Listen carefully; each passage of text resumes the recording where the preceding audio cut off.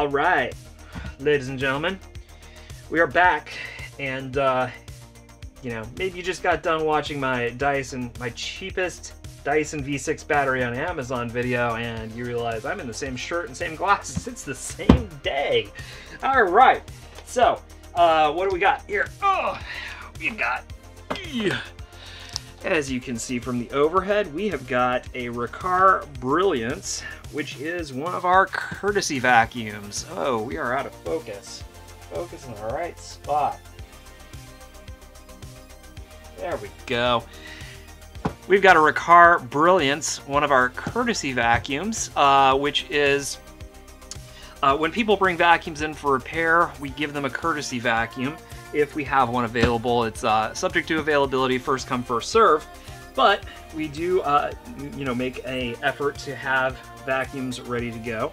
Uh, and this particular unit is uh, from September of 2018. So we're coming up here on almost two years of this guy being in service, and that's about that's about all we like to do with them. Um, you know, we haven't had any issues with it, like zero issues. Um, so runs like a champ as far as I know. So um, in any case, what we're going to do is we are going to clean this up and we are going to get ready to sell this as a used vac. Now, I will at the end let you know if you're interested how you can get a hold of this, but uh, great vacuum and it will be at a great price. How's that for sales? Okay, so let's zoom out a little bit more. There we go. You can see my, this is bad form. You can see that I've got a mess of cells over here from our Dyson V10 outsize video, and uh, they shouldn't just be all run amok, so I will set them in the corner nice and safe. Um, so what we're going to do on this is we're just going to do a general service, take it apart, get it cleaned up, and uh, get it ready to sell. We'll change the filters, make sure everything's ship-shape, uh, so that people have a fresh start with it. Um, take that protective film off of there. Okay. So one of the things that I'm seeing right off the bat is that this guy has a motor filter right here, and we're seeing there's been quite a bit of dust seeping into that filter. Um, so it's good, catches the dust, but I do want to check in here and just make sure that everything is, uh, is copacetic down inside the uh, direct air motor. Take off the back door there. Ugh, nasty. Now, this particular unit uh, was in service with someone who had a fairly long repair window. So, um, so with that, uh, you know, this got pretty heavily used by one family. This uh, secondary filter actually looks pretty good. Get a look at it here. Um, definitely did its job.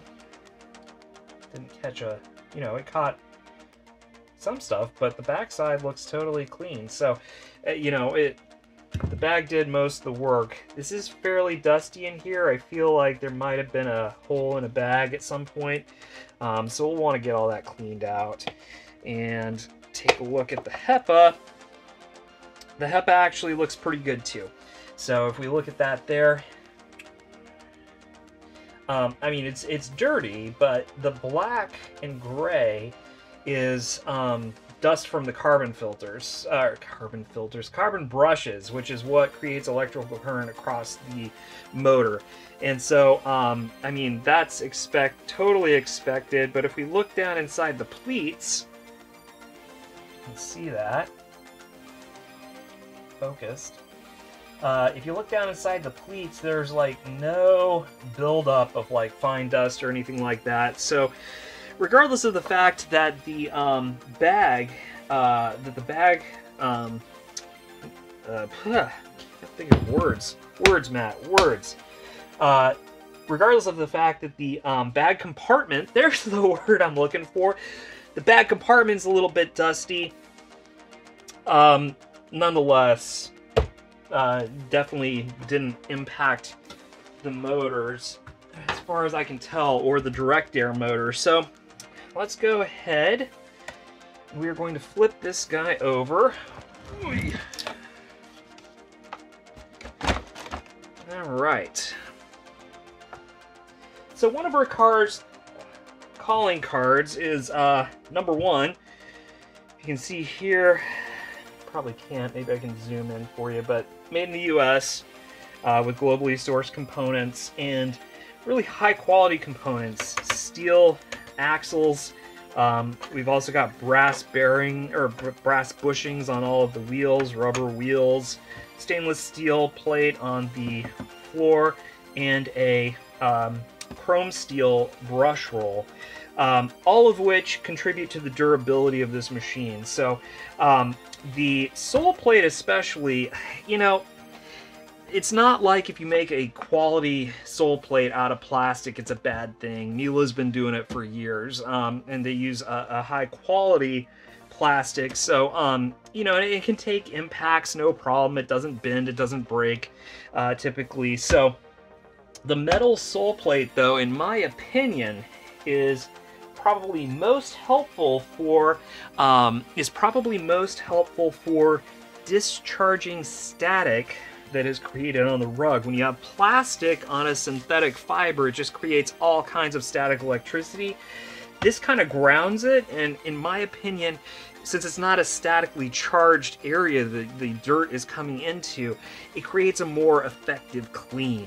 Um, so at least that's been my experience. So I really like it, you know, not even from a durability perspective because it's not like the bottom plates, if they're made out of quality plastic, are going to break on you, but I really like it from a function standpoint.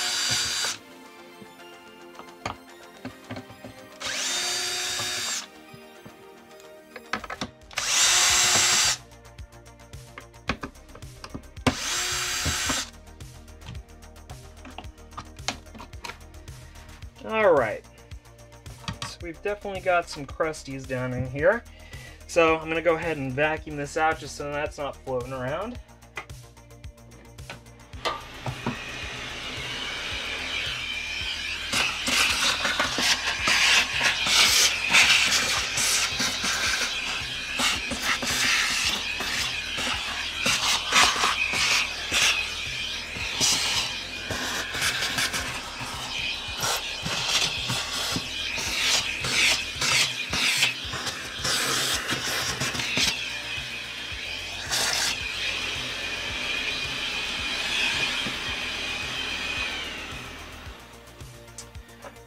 Okay, so let's go ahead and pop this guy out. So, again, kind of a testament to its construction. We have the chrome steel brush roll, and what I really like, get this off, um, you also have steel end caps here. So um, you've got a locking nut and a steel end cap. Um, that is super important from a reliability standpoint. You've got a plastic rail that the, the belt rides on, and a lot of companies make these end caps out of plastic. And when you've got plastic next to plastic and you introduce hair in between them, which is common on a brush roll, what happens is it starts to melt. And we see cheap vacuums with plastic brush rolls come in all the time that have a seized brush roll because the end cap and the core have fused together or gotten very, very tight. Um, so this is this is a great way to uh, keep it from happening. And then this is a rubber insulator, which keeps the brush roll from vibrating in the housing. Also a common problem on cheaper machines. Uh, when they start to vibrate, they start to wear away the housing, and then, you know, then at that point, your housing is, is toast. Um, we've got our lifetime belt, which we'll take a look closer look at here in just a sec.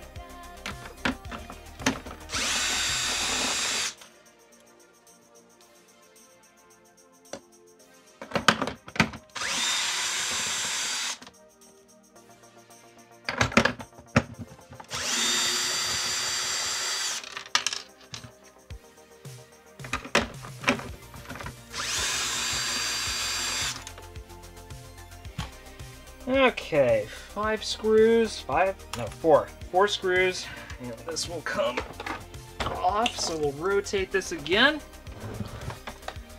And now, we are back, and this will just simply pop off.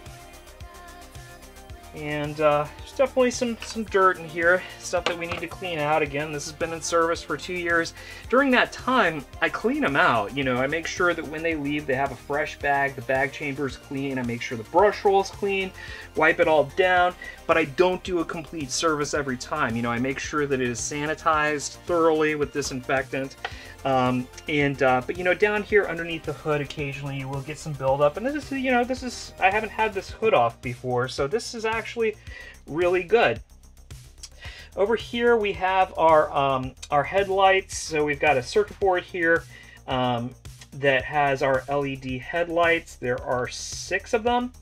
And um, and then the tray that that fits on right here is a really cool feature uh, this here is the spring that keeps the handle weight low. So on cheaper vacuums, you feel, you, you know, when you have an upright, a lot of times it gets tiring because you're pushing it back and forth and you really start to feel it here in your forearm, in your bicep, in your shoulder. And that's because you're not only doing the pushing and pulling, but also the weight of the vacuum at the handle is in your hand. So if there is no like counterbalance to that weight, it can get really tiring. The lighter you make the handle, uh, you know, the weight that you're holding in the handle, the easier it's going to be to work with. So what Riccar does is it has a spring right here and it reduces the weight in the handle to somewhere in the one pound range, which is great. I mean, if you look at if you look at other designs, like most specifically Shark, with the way they distribute the weight on a Shark, uh, you're looking at probably three, three and a half pounds in the handle, uh, and that extra couple pounds makes a lot of difference when you're vacuuming a large house. So really cool feature and that comes on all of Riccar's full-size uprights now uh, from the R25 series to the Brilliance or the R30 series, as it's now called, to their top of the line R40 Radiance. So we put it upright so the tension is relieved on that spring. Unscrew that. Now we can let it back down.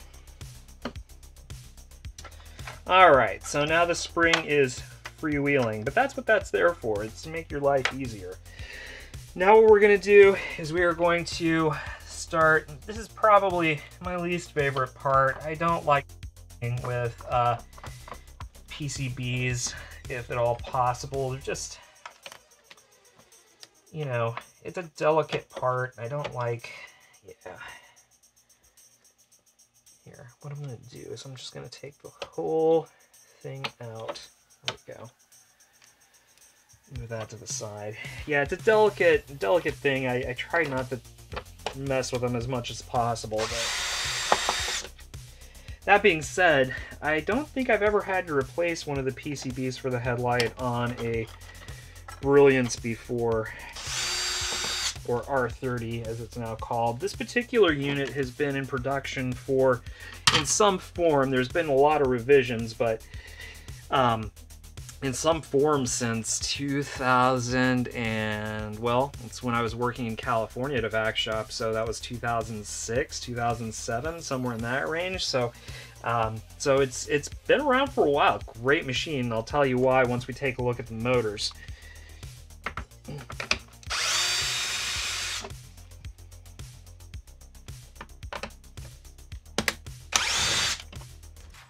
Up the speed, faster!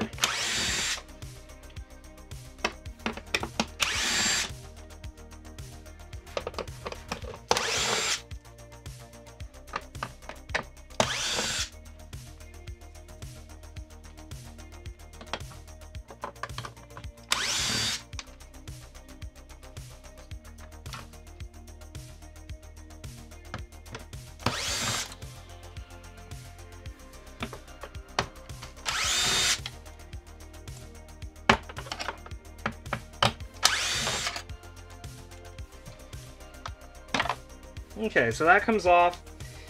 This is your air channel. Kind of a nice design. The air channel goes all the way to the middle, which is going to give you a lot more airflow, kind of evenly distributed across the uh, across the um, brush roll. And um, let's go ahead and real quick. Come on. Real quick, I want to check our exposure. Make sure, yeah, it's looking good. Um, so, uh, so yeah. Um, I forget what I was saying. Oh yeah, yeah, across the air pathway. Yeah, so, so here's, here's the big claim to fame for this machine. Is that the distance between this is a two motor system so it's got a motor here which is a um, which is a uh, pusher motor and we've got a puller motor right here and we'll look at both of them but the pusher motor right here the distance between the fan and the floor is that far I mean we're talking literally like eight seven inches, maybe seven, eight inches uh, to the floor, which means you get extremely high air velocity down to the carpet. Um, it's the only design, it's what Riccar calls their tandem air design, and even after all these years, um, you know, uh, 15 years or so that they've been making these machines, Riccar is really the only one who makes a tandem air system like this. And if you are looking for the absolute best carpet cleaner available, it's a tandem air vacuum, hands down, hands down. Now, I like other vacuums. I like other uprights. I really like Sebo uprights. They're they're made like tanks. They will last through anything. But ultimate carpet cleaning is still owned by the tandem air machines.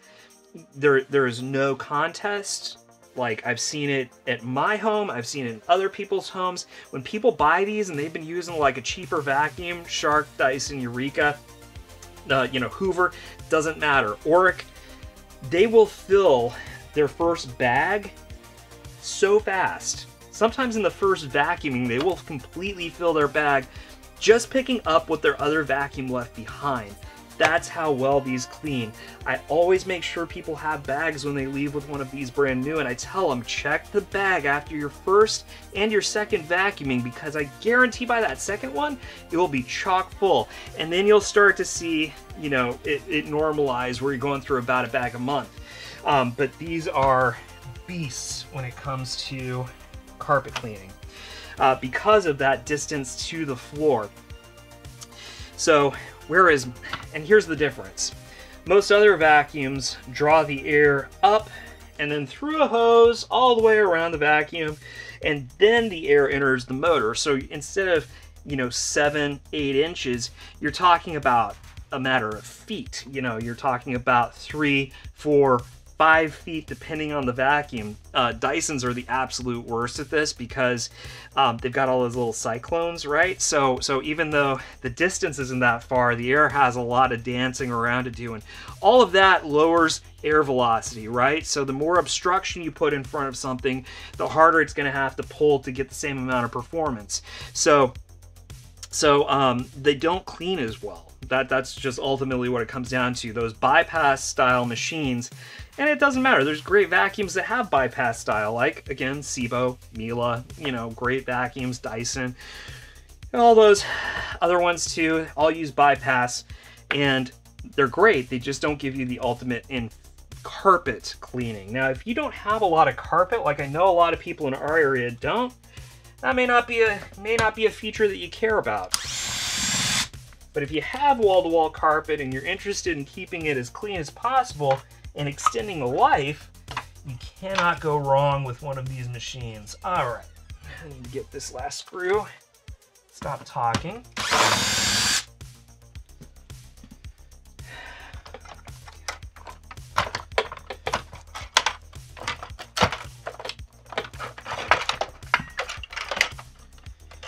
Okay. So, I'm just going to disconnect this completely. Unscrew that. And we will, let's see. It's just easiest to snip that zip tie. And then we will disconnect loom. Yeah, again, I hate disconnecting the loom. It's the worst. All right. Hmm. There we go. There's one. And for the second,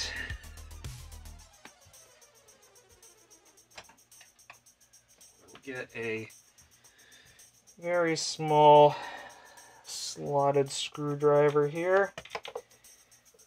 We will just very gently pry it out. It doesn't take, yeah, it doesn't take much to get it started. It's really just the getting started that's the hard part. So,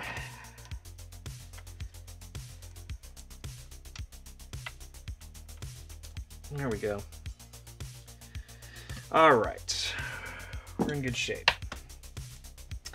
So, pivot points on this machine, pivot points meaning where the vacuum, the body of the vacuum pivots and hinges with the nozzle also made out of metal on a Riccar, which is fantastic. I mean, yeah, you can't can't go wrong there. They do not wear out like pure plastic ones do. Now, they are plastic sleeved right here, but the sleeves are replaceable. So if these ever wear out, you don't have to replace the entire body of the machine. You simply replace these plastic sleeves, but honestly, especially if you keep them lubricated, you don't have to replace them all that often. Uh, you can see on this one here, very little wear. It's still glossy in some spots. You don't see a lot of scuffing. Um, you know, and this is this has been well used. This is not a, you know, it's not a, it's not been babied, let's say, because it is a loaner. It's like, you know, you don't know what happens to them, but this one looks very good. I'm very happy with the way this one has held up. Like I said, zero issues over the two years that I've been um, that I have been loaning it out to people. So I will happily testify that it is a solid machine. Oops.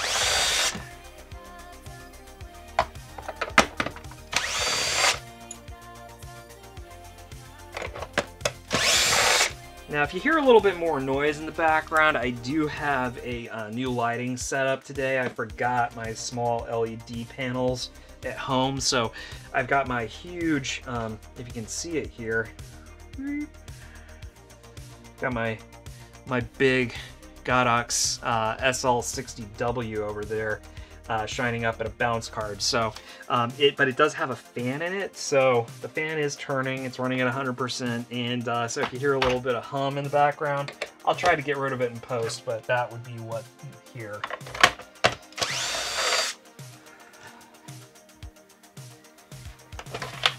Okay. Awesome. So, let's then talk a little bit more about the two motor system, okay? So, we got a lot of parts going on here. That's the only downside is that these are a little bit more complex than your average bear. Here's an aside. Do not watch this video and think, hey, that looks easy. I can service my tandem air. Don't do it. Um, it's just, it's just, they're they're super complex. Um, and and that's not to say that they're bad. They're just they've, you know, they, like I said, I've gone two years with this one with zero issues, and it's not been in great circumstances. So, um, so no, no problem there. But don't try to take it apart. They're just complicated machines, and I guarantee you, you will not get it back together properly. Uh, if you don't know what you're doing. So I will not be held responsible if, uh, if you have issues. But moving on. So this is the two motor system. Most machines only have one motor. So what does this mean for us? Well, it's allowing, it's using two motors that both do different jobs better than one another. So This is the direct air motor. This one is the one that pushes. So this is actually, uh, this is really great for carpet cleaning. This is the one that creates a lot of high air, or a lot of high velocity airflow down to the carpet, up through the motor, and then shoots it up into the bag. Okay. Once it is in down in the bag, it comes through the filter here in the bag chamber, and then into the puller motor, which is most typically what you see on machines like, you know, pretty much everything else on the market. Miele, Dyson, Hoover, you know, you name it. Uh, they've pretty much all have one of these puller or uh, clean air motors. So these take filtered air and then they shoot it out through the HEPA filter. Um, and they're very good at suction, but they're not great at airflow. That's the difference. This is an airflow motor. This is a suction motor. They're both doing different jobs and they're both doing what they're designed for best. On this guy here, this also operates the tools. The tools are operated on the back here using a little uh, valve. So what's nice about this is it shuts off the tools when you're not using them, meaning that you're not drawing a bunch of air through tons of hose and again lowering your air velocity. If you are in floor mode, this is going to be doing its most efficient job. This is going to be doing its most efficient job. When you turn on the tools, this motor meant for the carpet turns off because you don't need it, and this one switches into what it does best, which is suction and tool mode. Um, then you've got your uh, control board right here. We're not going to mess with that. Uh, we've got our um, our check bag indicator right here. So this is using vacuum lines. So it just uses like a little solenoid valve to, um, to tell you when you need to change your bag. Um, but both really nice quality motors. Um, you know, this one's full metal. I don't know if this is one of the newer ones. It's made by Samsung. Uh, I think most of them, I think all the new ones have a Samsung made motor in them. And I think this one is the Samsung as well. Could be wrong. Um,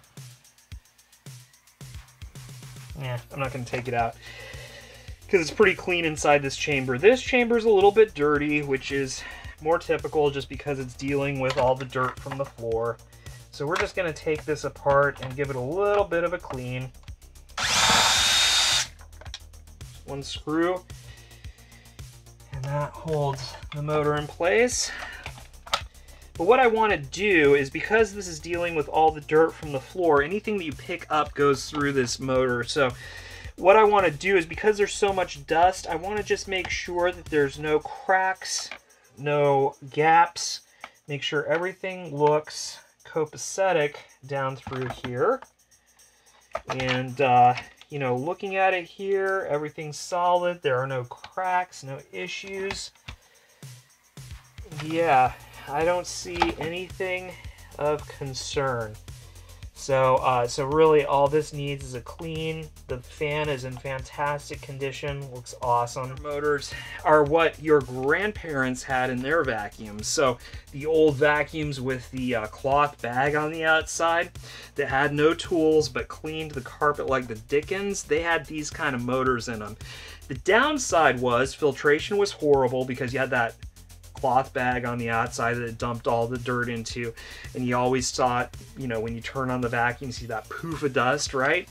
Horrible at filtration, also horrible at tools, but great at carpet cleaning. When the market shifted to onboard tools, as well as a need for better indoor air quality with filtration, we switched to these direct air motors, which uh, you know, which are great for suction, for tools, for filtration, but they're not as good at uh, creating high velocity airflow to the carpet. So these guys here are what you see in most modern vacuums. Um, and that's why most vacuums don't use this style anymore. There's only a few out there that do. Riccar SupraLite, Oreck, and Kirby and Sanitaire. Those are really the big ones that you might see still to use this style of motor. But again, in those systems, you don't see tools and you do not see any claims about like super awesome sealed filtration because it can do neither. Um, so let's see. Now with the advent of synthetic bags, that's gotten a little bit better with the filtration, but tools are still a no-go.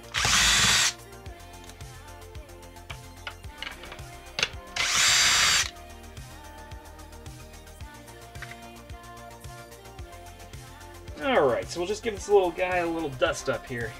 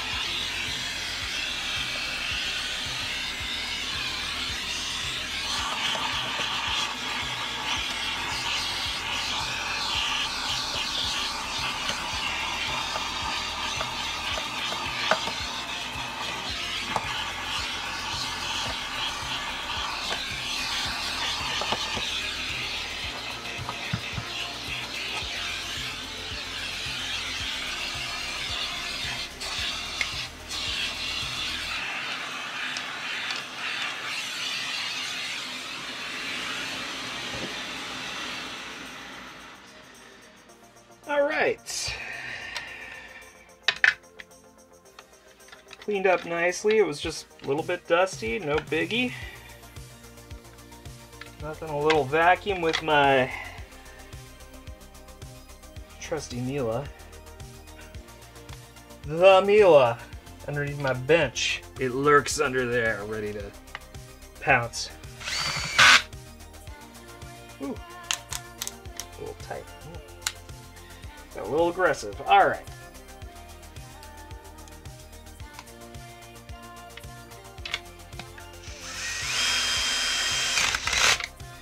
Now, I cleaned out this bag chamber because it was a little bit dusty. I don't want it to, you know, stay around the motor and the bearings. Everything feels super duper smooth. I've got no issues with the motor. The armature looked fine. The electrical contacts, all that jazz. Fan looks fantastic. Um, you know, everything's turning free. No hair buildup, no dust buildup, like the really heavy dust buildup, no cracks. Everything's good. Um, so, with that, I'm not going to clean this out because there's really nothing to clean out. This is like clean as a whistle in here. Like there, if I vacuumed it, it will only be for the action of vacuuming it. There's no dirt. Um, so you, that really is a testament to how well both the polyethylene bag um, or polypropylene, I should say, polyethylene. What am I talking about? Polypropylene non-woven bag and that uh, three-stage charcoal filter do cleaning the air before it enters here. I mean, it's it's clean as a whistle, so we're not going to mess with it. Why mess with success, right? All right, so let's plug these guys back in.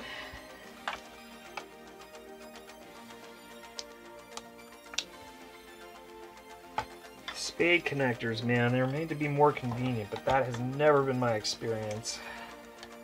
Okay. And they are certainly secure. If I can't take them out with pliers, then sure as heck aren't going anywhere. Alright, so throw this down in here. That's right there. And voila, we are back where we belong. So there's a little screw that just holds the air chamber, um, holds the exhaust port onto the uh, exit area here.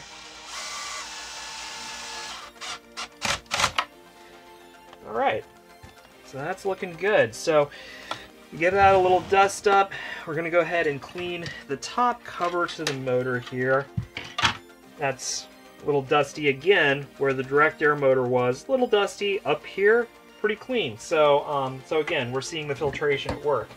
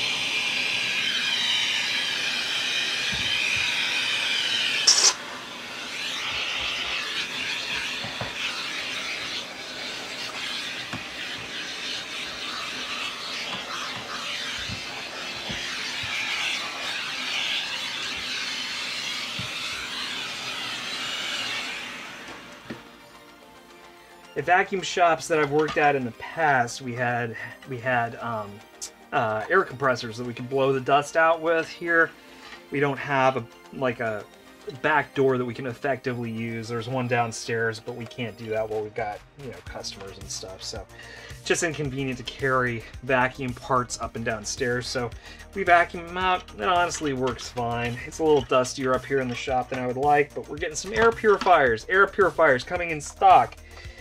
We're going to use to clean the air up here. So this little switch switcheroo right here is um, when you put the vacuum upright, that turns off your direct air motor. So that that's what that's there for. Just a little paddle switch, and this is going to go. Whoop! We need this. This is the grate for our pre-motor filter. Put that in there. This over the top. Align the switch. And just kind of give it a little wiggle so everything fits up. Check our gaps, everything looks good. We've got this all in place. Look at that. Look at how much better it looks down here. Actually looks clean. Yeah, so that's why we do this. Not only just because like other people's dust is gross, but um, you know, also for the longevity of the vacuum, right? Um, we just want it to last as long as possible, and to do that, you keep dust away from components. That's why you should service your machines. Um, another great thing about about these vacuums uh, is that they all use that they basically the screw that they use in this it's used through the entire machine so you don't have to like keep screws separated. There's a couple of oddballs but like pretty much you can just put them all in a pile and it doesn't matter where one goes or the other they're all the same size. Which if which may not sound like a lot but you know you work on a vacuum that has like 15 different sizes of screws and get back to me and let me know how nice this is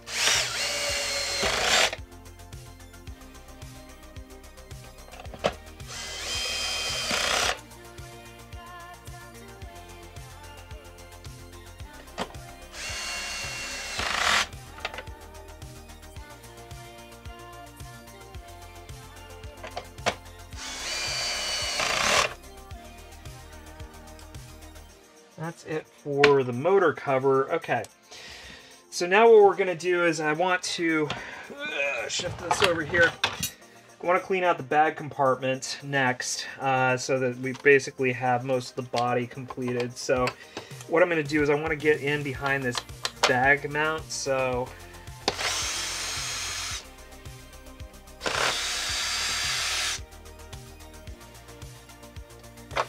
unscrew that, pull that out, so that way we can clean back behind. Now, typically, when you're using a, a polypropylene bag, like the non-woven fiber bags that everybody's been talking about through the uh, through the um, throughout the uh, pandemic, um, typically when you're using those, you don't see this much dust. So again, I think that there was a failure of a seal at the mount or perhaps um, maybe a small hole got poked in a bag. This is very rare to see this much dust. Um, typically, this is pretty spick and span. But um, there's a reason why high-end vacuums use bags uh, still. Um, you won't really find anything in the $500 plus range uh, that is bagless, uh, with the exception maybe of the Miele Blizzard. Um, and the reason why is because this very effectively filters the air prior to the air entering the motor. We saw that the motor, the top motor where all of the air from the bag comes through, was spotless. I mean, there was no dirt in there whatsoever. Even with all this residual dirt that was here in the um, that was here in the bag compartment, no dirt that motor, and that means that your motor is going to last longer. The problem with bagless machines is if you don't maintain them, if you miss an interval with cleaning one of those pre-motor filters, it's going to start to seep motor in, or dirt into your motor, and you're going to see a much, much, much, much, much shorter motor life. Um, mostly it'll get into the bearings and eat those bearings up because it's it's gritty and it causes friction in those bearings. Heat friction it just wears it away. It just you know eats it up so um, the other reason is filtration. You saw how clean this motor was. That is the last step before the HEPA, and then the HEPA exhausts it out into the room. So you've got super effective filtration, super clean air coming back out into the room. And the great thing about this is when you change a bag, you're in essence changing a filter so you're constantly, every time you change a bag, you're getting a brand new main filter and everything is just running at top, top, you know, speed. So uh, it's not like the bagless machines where the dirt builds up in the filters and they tell you, hey man, it's a lifetime filter, bro. It's not, yeah, and you're to see a decrease in performance over time. So there's a lot of reasons. It's not because people just want to sell you bags. Um, the residuals on bags are not like amaze balls. Uh, trust me, people who buy five sharks over a period of time because each one breaks are spending a lot more money with that company than somebody who's buying bags from Riccar. So uh, it's not as it's not as lucrative for them to make bagged vacuums that last a long time that they get to sell a few bags on. Um, you know when you sell three four five vacuums because you don't know that there's an alternative that's where you're making a crap ton of money. So uh, let's go.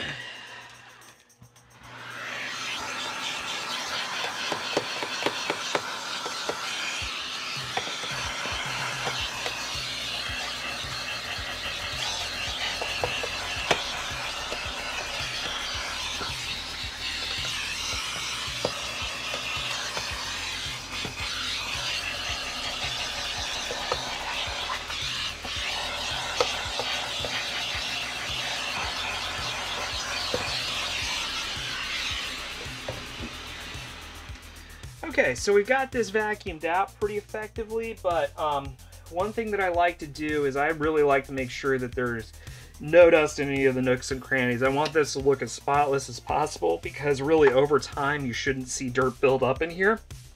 So little uh, trick of the trade here, you take a little bit of furniture polish, just a little bit, and you take just a uh, inexpensive bristle chip brush and you just work it into all the nooks and crannies. And this gives a nice sheen. It gets rid of the dust. Makes everything look as close to new as possible. It smells lemony fresh. There's really no downsides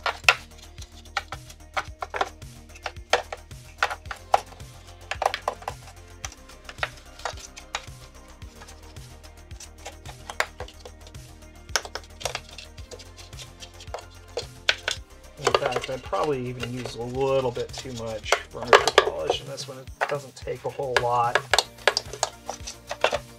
Okay. Now we've pretty much got all those nooks and crannies. Everything's looking pretty good. You just do a little gloss up with the rag. The chip brush gets into the really tough to hard to get uh, crags and crevices here. And then this just gives it a nice buff up of all the areas that kind of stand out to your eye. And uh, on this particular machine, I'm not, not disinfecting it right now because when we took the machine in, because we are in the midst of the uh, sickness that shall not be named on YouTube, um, since we're in the middle of that, uh, this was thoroughly disinfected and quarantined in the basement. So we used a hospital grade disinfectant on it for food processing plants, and uh, it has been thoroughly made safe. So now we're just making it pretty. Pretty! Okay, so that's looking really good. Uh, let's go ahead and... Oops, forgot to vacuum this off.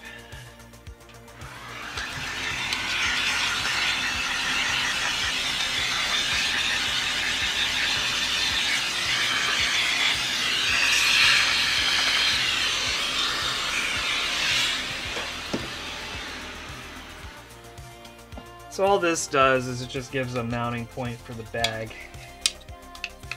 Makes it easy to take the bag off and put the bag on and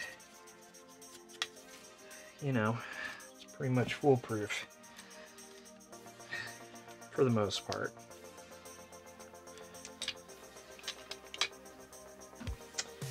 Okay, so now this just goes back on here so that we can mount the bag to it. Again, same old screws that we've been using throughout the machine.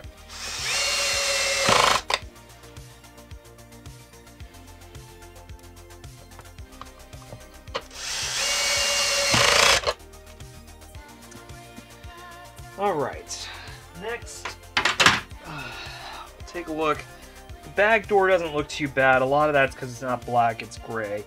Hides a little bit of the dust. So we're just gonna give this a quick vacuum off because I know there's a little bit of dust on it.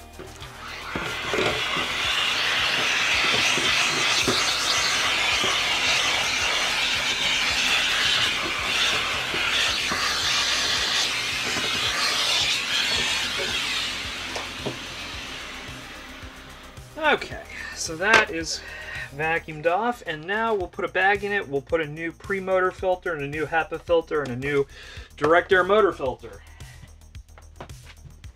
All right, how much battery we got left? Oh, we're still on, we're still doing okay. All right, so bag automatically seals when you take it out so you don't have to encounter any dust super nice. We're out of focus. Doggone it. All right. So yeah, seals automatically when and it has a rubber seal around here that keeps dust from exiting. Again, non-woven polypropylene multi-layer bag, which is going to filter down to HEPA standards by itself. Um, so just slide that in there. You slide it until it clicks, and then Throw that in there like that. Okay. So it's got a little cutout here so that you don't have to worry about um, so you don't have to worry about the door kind of crimping over your bag. Uh, so you just make sure that it's out of the way of where the bag will go here on the sides and you're in, you're in business. So, oh, I forgot the filters.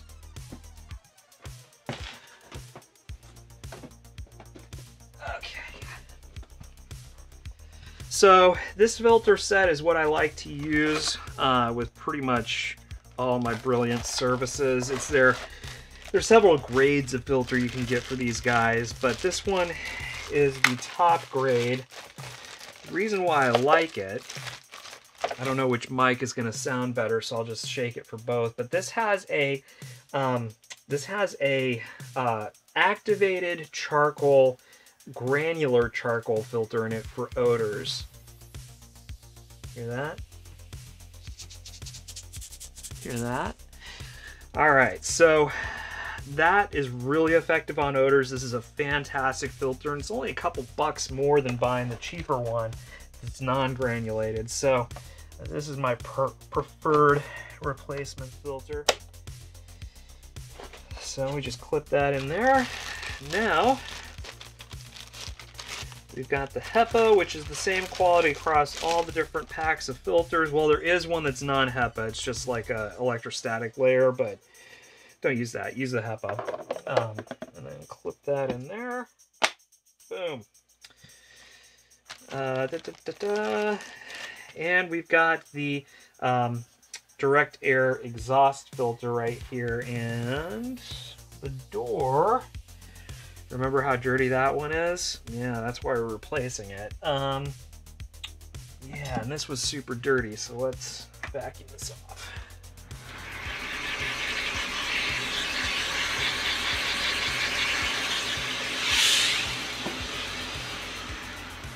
The nice thing about when you use these brushes with Pledge, Pledge kind of remains on there and you can just kind of keep using it get some light dusting done like new. See? Spick and span. Alright. So... Lay him in there. In the right spot. Perfect. Alright, so filters are in place. Pop this guy back on. Bam! Karate chop. Okay, so this is all looking really good. Pretty much got the body squared away with the exception of some final detailing. So what we're going to do is we are going to start getting this ready for reassembly. Um, and that includes, we'll put the, uh, we'll put these guys back on. So we've got our pivot points. Why is this?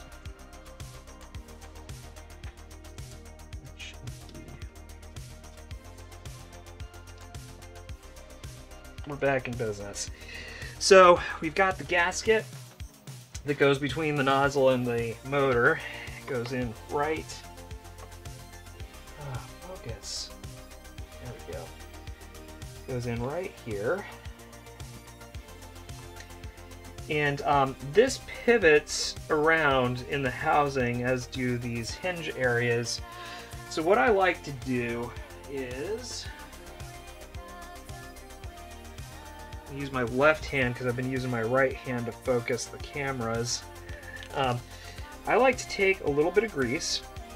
So this is automotive wheel bearing grease. Um, so it's a, a, nice quality grease and it is um, moisture resistant. Uh, but I use this in bearings and when I lubricate um, these guys, I just put like the thinnest smear all the way around.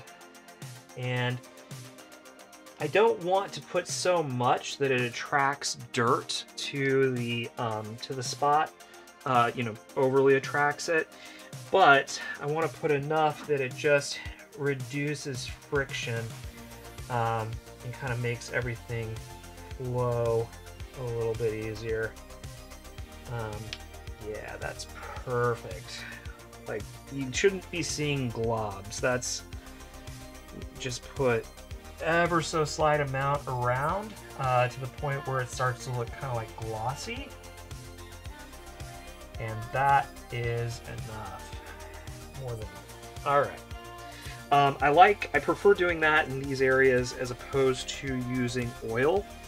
Oil's thinner, it's more viscous. Um, it it's hard to control how much you're putting on there and it doesn't stay put. So in my experience, a little bit of grease goes a long way towards just kind of making this operate smoother long term. So we'll put that back. All right, so we got that going. Filters off to the side. Now, let's take a look at this guy. We'll shove this over to the side for a sec. So this guy's a little, uh, this guy's a little bit, um, it's a little dirty. This is probably the dirtiest part of the machine. So I want to get down in here and just get all of this out, give it a real good clean out. We'll spray. Since we weren't able to spray disinfectant in this area when we uh, when we took it down for quarantine in the basement. We'll do some disinfectant in here as well, so let's vacuum it out first.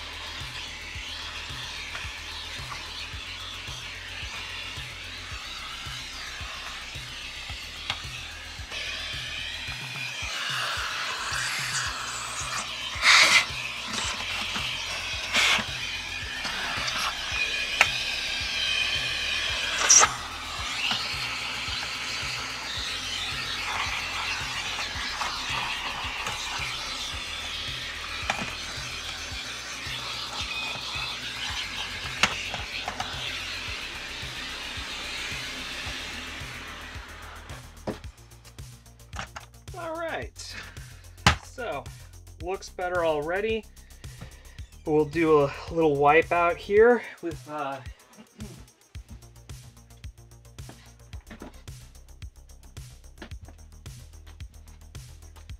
So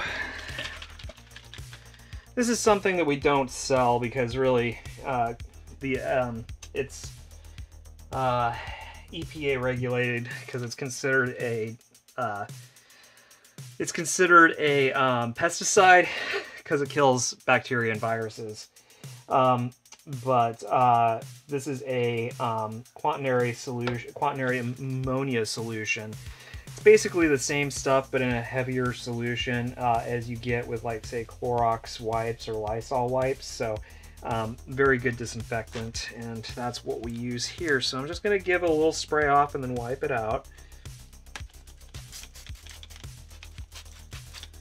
Don't want to go too heavy, just enough to get things covered but not soaked. And then um, what I'm going to do is just wipe this out.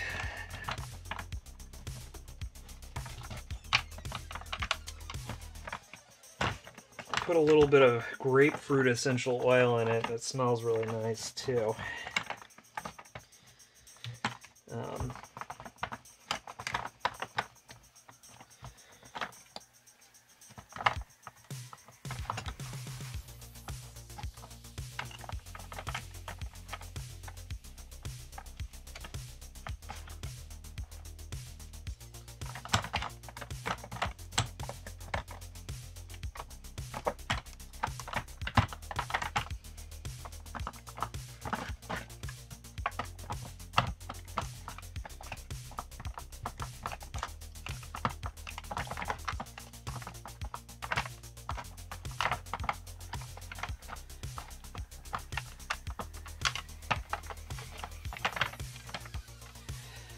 Okay, so we'll just give it a little brushy brush.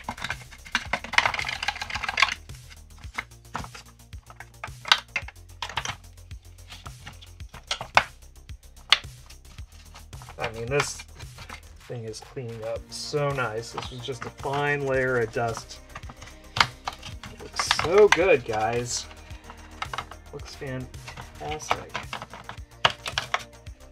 All right all I'm going to do there. Um, notice that the uh, another part that's commonly plastic on other vacuums is a um, is the uh, handle release pedal uh, is made out of metal. This is typically plastic on other cheaper brands of vacuum or even more expensive brands of vacuum. Uh, and it has like a little roller bearing right here, which uh, which keeps it from wearing on the body. Um, so what we're going to do is we're going to use a little drop of DuPont Teflon oil. There's a little smear. I mean, it just takes a tiny little drop. And uh, this is our idler bearing for the belt. This is a hall sensor, so the sensor is right here and there's a magnet on this wheel. When the belt's turning, it will tell the system that everything's okay. If this slows down too much or if it stops completely, the hall sensor will realize that and then it will send the signal to the motor that it needs to shut off. Um, and it's that system coupled with this serpentine belt, uh, which is a really high quality serpentine belt that allows Riccar to give their machines a, or at least the R30, the R30 models, the Brilliance, allows them to give them a, um, allows them to give a, the vacuum a lifetime belt warranty. So if you ever break the belt on this, which does not happen because it's not a stretch belt, and um, then you get a new one for free.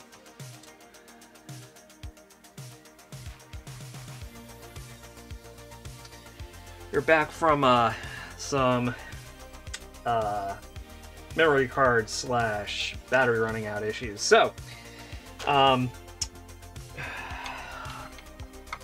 these. here's the thing. If I haven't lost you yet, I appreciate you. You truly love vacuums because these are complicated machines and they take a little while to take apart and put back together. And this one even really isn't that dirty. So, uh, so I do appreciate you sticking with it. But trust me, if you stick with these videos, you will learn something about uh, you will learn something about these uh, vacs and uh, you know better floor care if that interests you. Um, mostly, it's just me geeking out about stuff, you know, and I'll admit it. So we got this disinfected, got it cleaned up. Um, so this is looking pretty good, pretty pretty good. All right. So now we are going to go ahead and grab these guys. Remember, we we lubricated the um, we lubricated the plastic bushings that go inside these metal sleeves. Let's give them a little dust off. Those are really clean, actually. Surprisingly. Okay. So now what we do...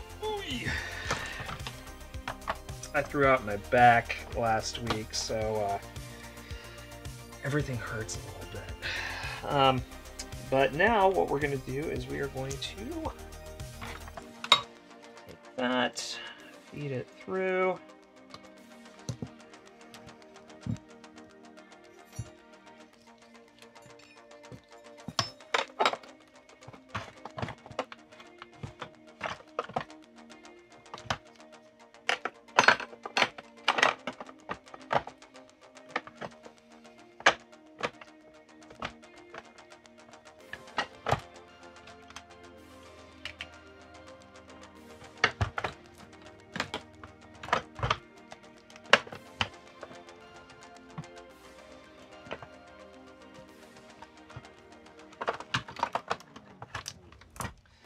All right, so now these slide down into their grooves. This slides down into its grooves. Everything's in place. Everything looks copacetic. It's aligned. So now we can go ahead and take more of these screws and throw these in here.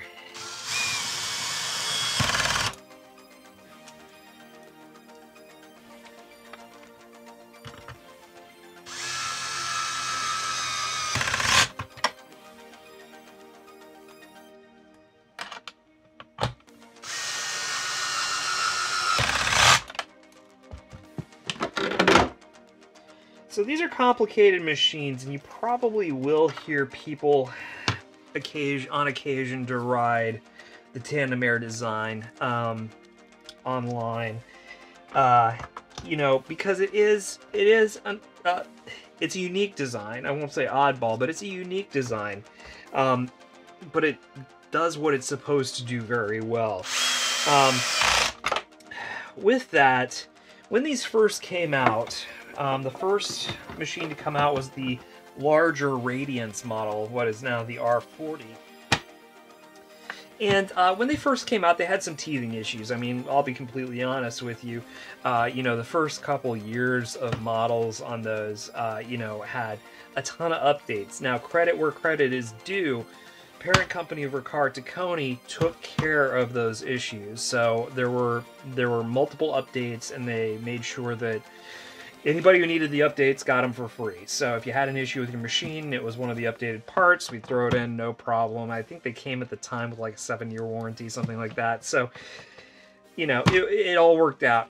One of the and also credit where credit's due, they stuck to the design when they came out with Brilliance, which was about a year, year and a half, two years later after the Radiance. Um, it these guys were pretty good right out of the gate couple teething issues again, but nothing major. And since that time, they've continually improved. Um, you know, with with revisions, improvements. Uh, you know, some of them aesthetic, some of them mechanical, but really, I mean, as a testament to how well they have refined these machines, even though they're complex, these they they are very reliable now. Um, you know, and they have been for for you know 10 12, 13 years. Um, so, uh, so these are, you know, it's it's a testament to what a good company can do when they pay attention to customer feedback and also dealer feedback. Um, you know, and and Uh, I think these are fantastic machines now. If I needed an upright, if I needed a if I needed a vacuum specifically for carpet, I would have one of these. No question at all. This is the vacuum I would have. Now my house has mostly bare floor, a few area rugs, zero carpeting. So I use a canister um, in my house because it's it's more suited to the flooring that I'm I'm using it on. You could use an upright. The canisters are just they're they're bare floor monsters. They're they're just so convenient.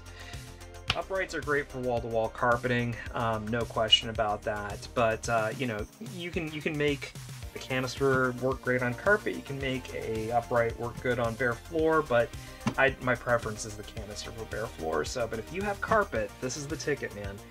Um, I, I would have one of these. I would if I bought a house with carpet right now, I would pull one of these guys off the shelf, and that is what I would use. All right. Pop this guy. Oops, hit my camera. Don't do that. Okay. Sure, we're focusing. Focus. There you go. All right. So we're going to put this spring back.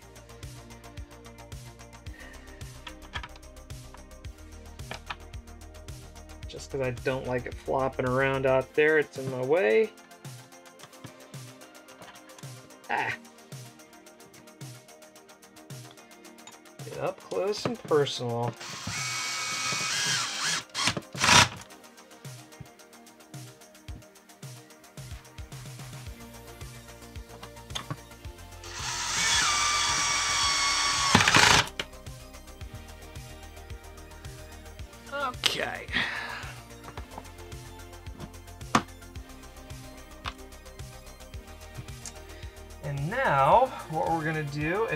Going to work on moving these cables back to where they belong. So there's some channels these go up and through. Sorry, my head was in the way. Hopefully we're still in focus. Um, so we're gonna move these into their channels. That looks good. And then there are a couple of these screws with these plastic washers on them that hold everything in their channel properly.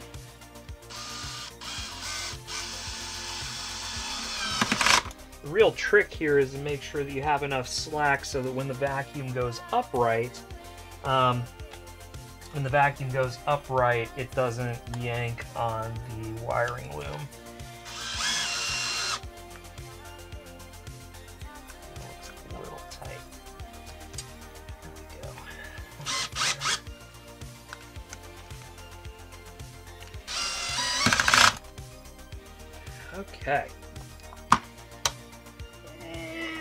Tight still. Don't love it. Whoa, we're out of battery already? What?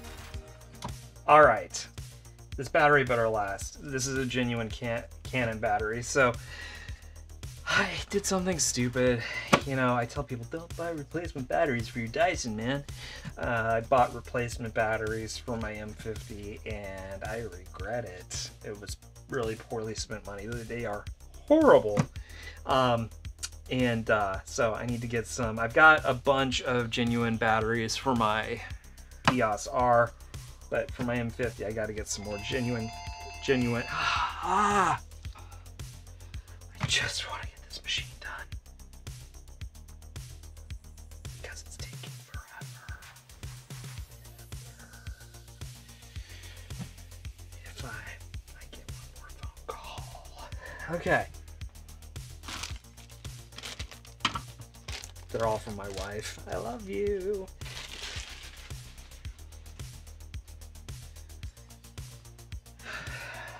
So we got those in place. Oh, I needed they're too tight. Yep. I remember now. I remember what I'm doing.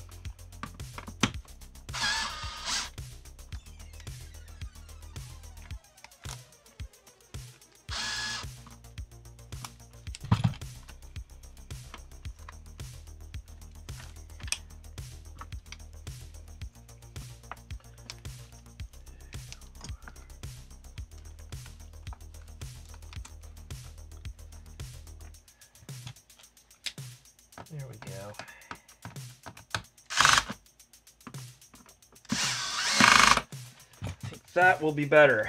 All right. Oh, yeah.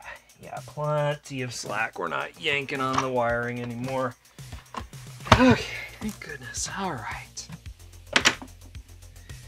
It's more just the hurdles that I've run into doing this machine as opposed to the machine itself. Life. All right.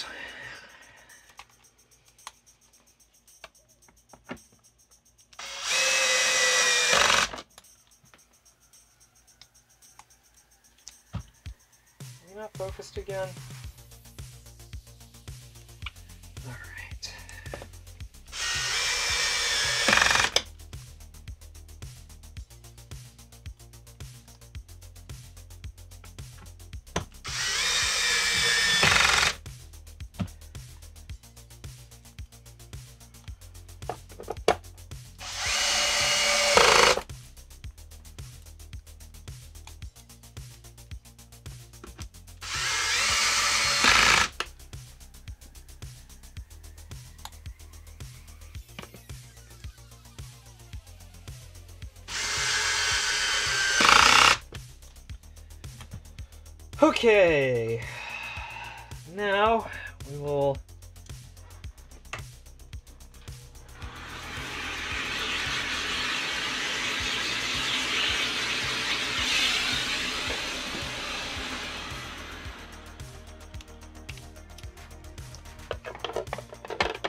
this guy on here.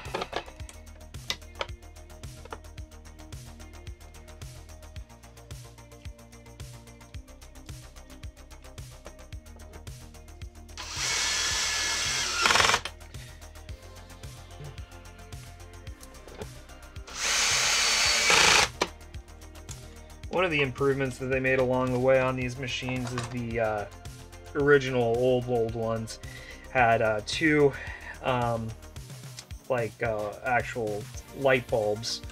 One were here and one facing right here.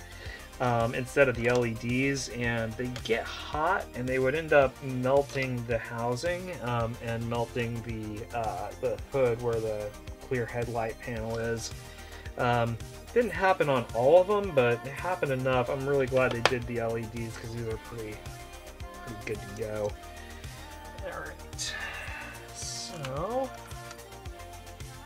we shall drop this back in.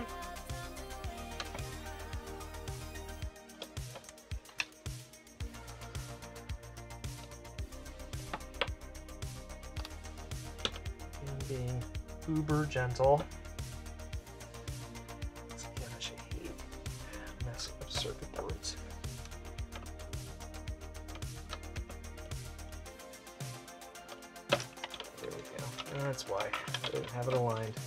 There we go. If I would pay attention to the markings, I'd get it in the right spot. There we go. Alright. All your instructions, Matt. Alright, forgot to put this grounding wire in here, so we'll uh, throw this back. Put here. Good way to protect your circuit board.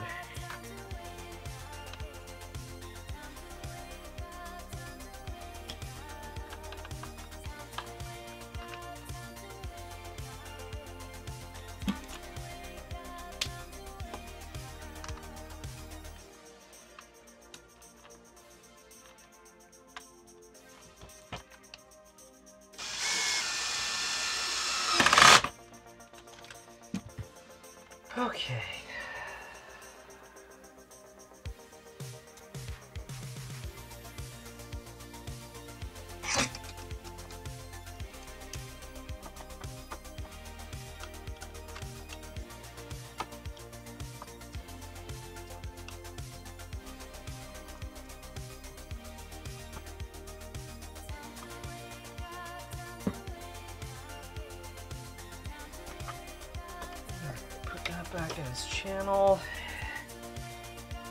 We will plug in our loom here. Probably should have done that first, but this will work. This away.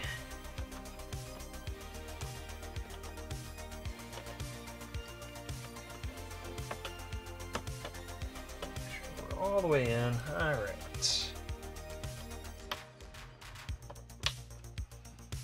Go. Actually gonna pull that up.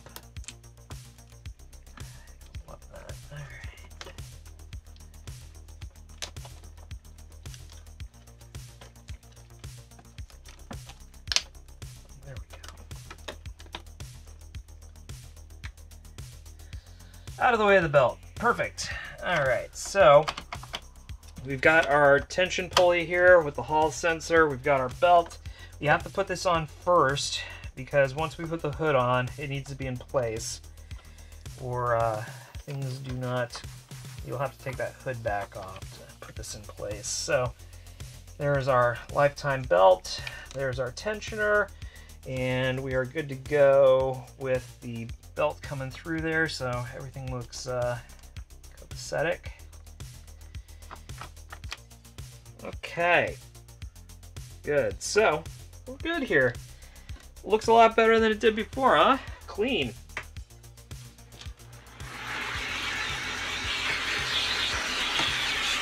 Now I'm just cleaning off this hood.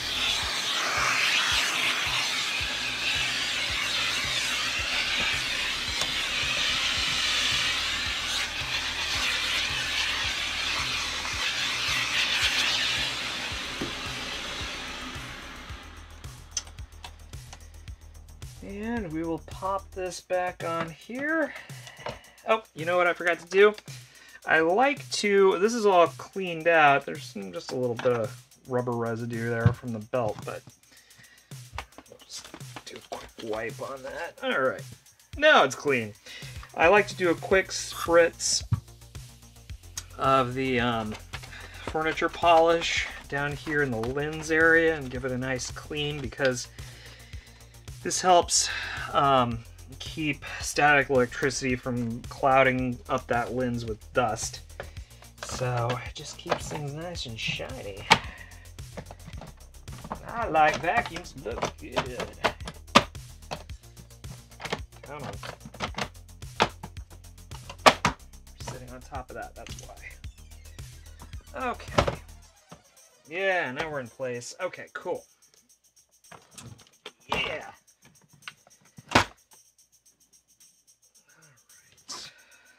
So, now we will do the brush roll. And uh, we're just going to give this a quick clean off. I like to use a hook if it's not a lot of hair. If it's a lot, I'll cut it off with a box cutter, but this is not enough to get out the big guns. These hair brush rolls are pretty good about not wrapping. You know, uh, I know that Shark would like to take the credit for having the first brush rolls that don't wrap with hair, but there are some brush rolls out there that don't go bananas with hair wrapping. And this is one of them.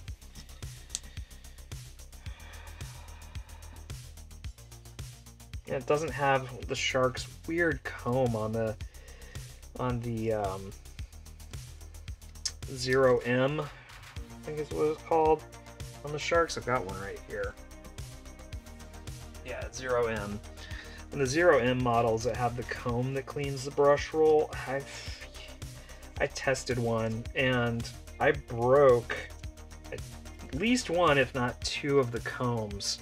Just picking up normal junk, you know, like stuff that you would normally pick up with a vacuum would get caught between the brush roll and that comb and it'd snap the comb off. Guess what happens then? Your brush roll wraps with hair, shark. Alright. Might sound a little bitter towards shark. I don't like them. They're really poor to consumers. And that looks super clean. It feels super, there's no hair under there. Feels super smooth, super loose. Get off their hair. Let's get rid of this.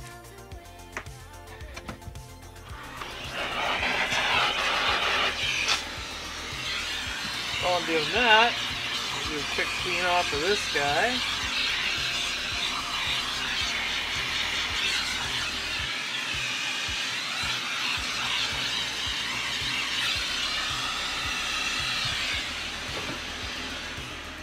Alright. Got the hair out of the way. This feels solid, like a rock. Alright.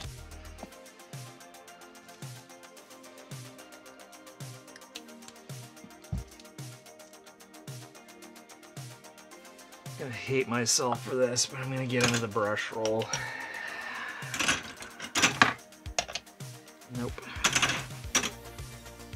I rarely take these apart because, again, the bearings are usually, if they feel fine, they're fine. But this is for education and science and posterity and all that jazz, so here you go.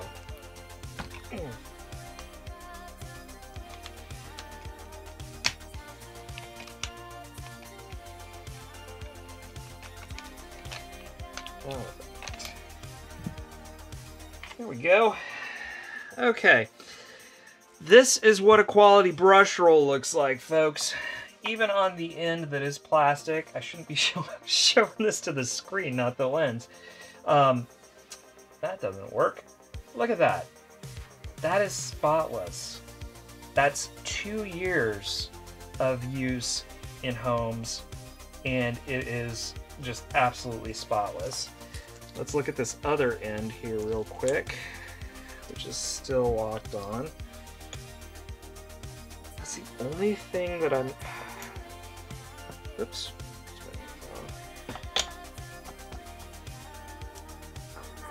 Oh gosh. These are so tight. Where's my, where's my pliers? Oh my gosh, these things are so tight.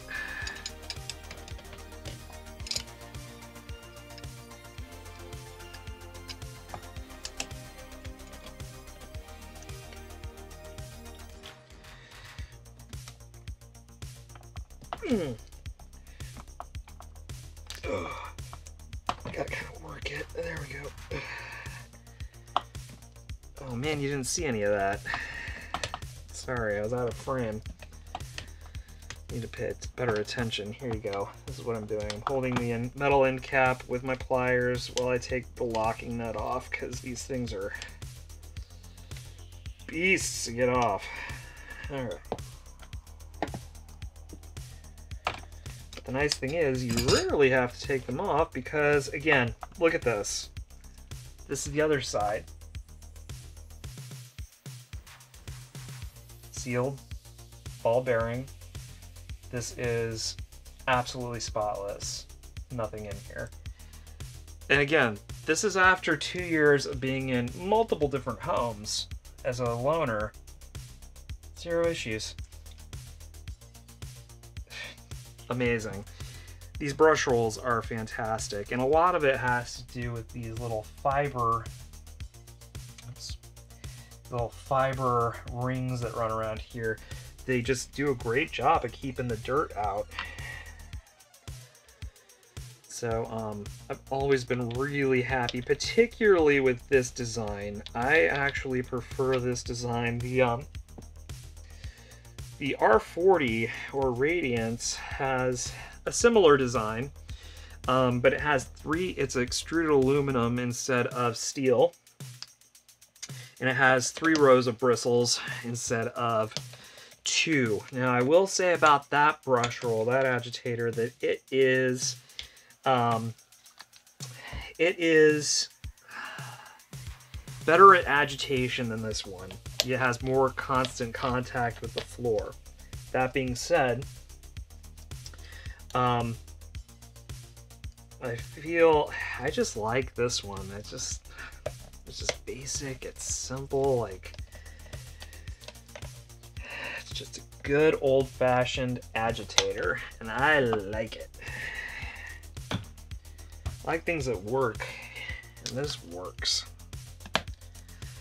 Alright, so we are going to throw that back on there, and before we throw it in the machine, we are going to go ahead and do a quick spritz of the... Do that. Alright, I'm going to do a quick spritz of the disinfectant. Because why not?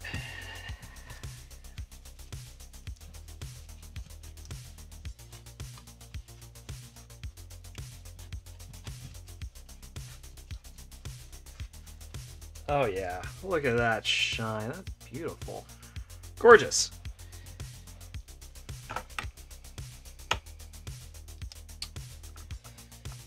Now we loop that around and it's really tight fit getting it back into place. Voila, there we go. Everything's looking fantastic. What I am gonna do real quick, give this a little spritz of the old furniture polish again because chrome steel likes to smear. If you put a little coat of the wax on there, you don't get like fingerprints and schmutz on there. Just looks cleaner. I'm all about it.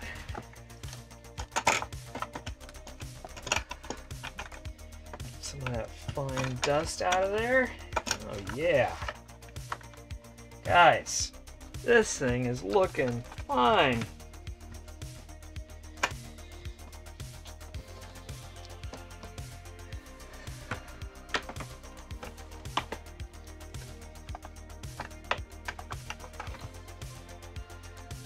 Okay, Put that back on there. Oops, wrong way. Okay.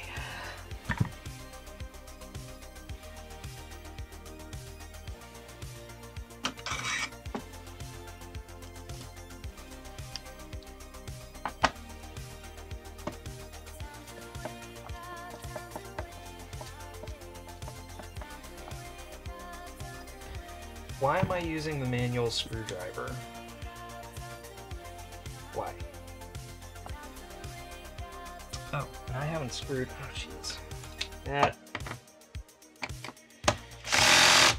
Cart before the horse. I didn't screw the hood on. Dumb. Dumb,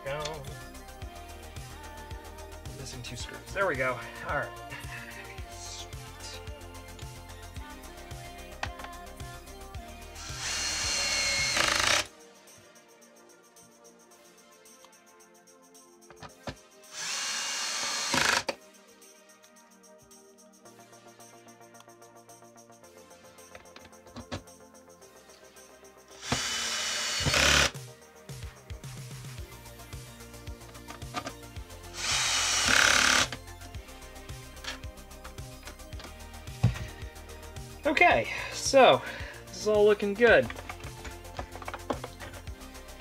A little spruce up there. Everything looks fine. Um, these look a little grungy.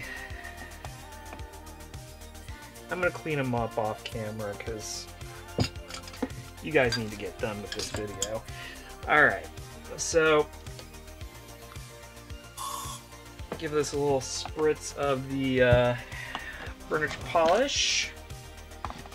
The back here, get some crevices.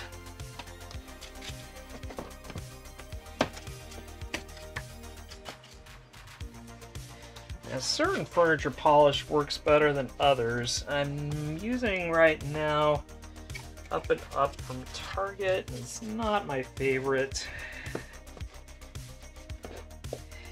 Was convenient at the time. Um, Pledge is okay, like the name brand. I used one in the past made by all people, and that one worked pretty good. Um, one that actually works really good that we carry here in the shop and just kind of waiting to use it again until this can runs out is uh, beeswax. Um, it's not actual beeswax, it's a furniture polish made for uh, you know appliances, furniture, that kind of stuff. It's uh, super cool stuff. Works super great on stainless steel and also works really well on vacuums. So that is what I'm going back to once I'm out of this stuff. I just want to use it up. You know, waste not, want not. All right. So, oh, put this back in. Metal wand. Put that back into place. Perfect. And we got our dust brush. Give that a little vacuum.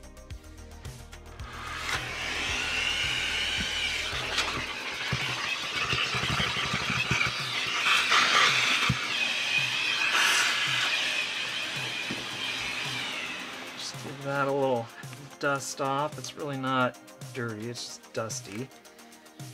There we go. Looking good. All right.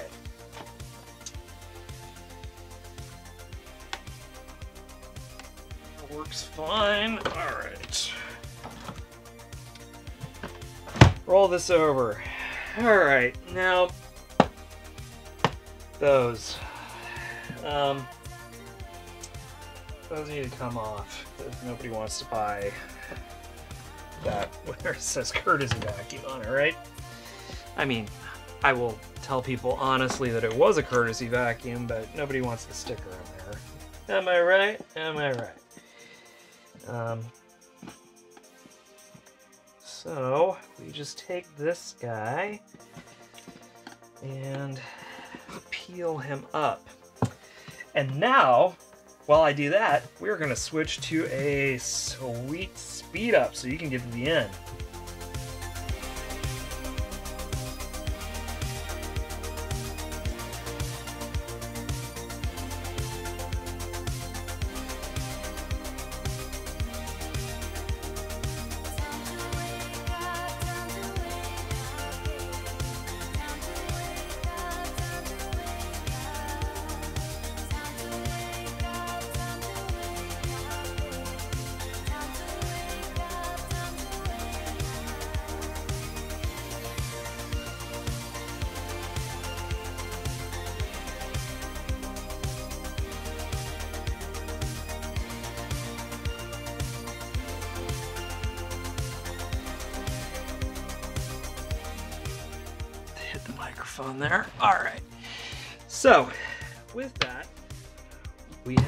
Serviced former courtesy vacuum that really looks and feels like new. I mean, it's got a couple of scuffs on it, but it's all cosmetic. This thing is clean. It is running sweet.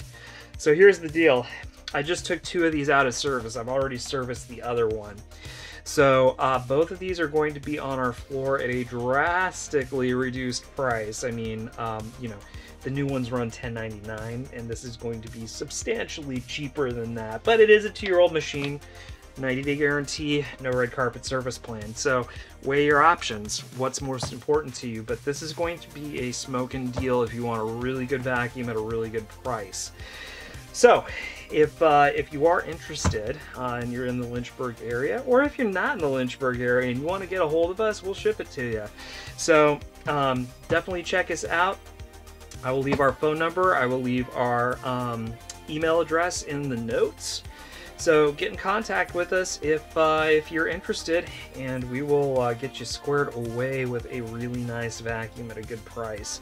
Uh, again, these run 10.99 new, so um, and you're looking at uh, you know, less than half of that uh, for a, you know, mildly used one that is in great shape. So uh, definitely get in contact with us. We'll talk it through and uh, go from there. If you like this video, if you stuck with it, thank you.